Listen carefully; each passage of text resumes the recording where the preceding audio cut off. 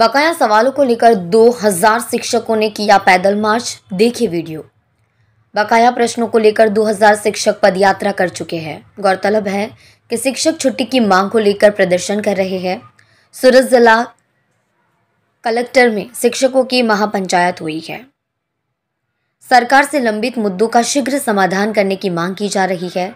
सूरत के शिक्षकों ने पदयात्रा कर जिला कलेक्टर को आवेदन पत्र भेजा है।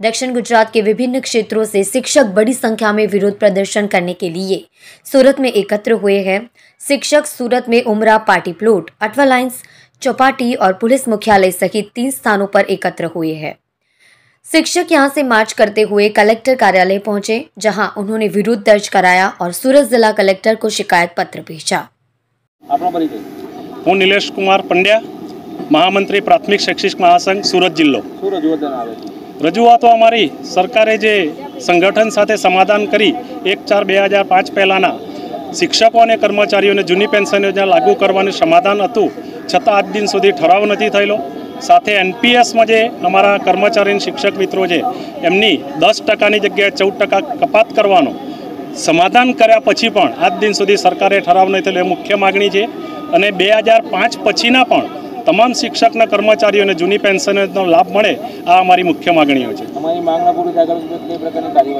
હા આજે અમારી આ મહાપંચાયતમાં ઠરાવ રજૂ કરી માનનીય કલેક્ટર સાહેબ થ્રુ અમે માન્ય મુખ્યમંત્રીશ્રીના આજના ઠરાવની નકલ મોકલવાના છીએ અને એ પછી જો અમારી માંગ ન સંતોષાય તો અમારી રાજ્ય લેવલે આવી મહાપંચાયત થવાનું આયોજન છે.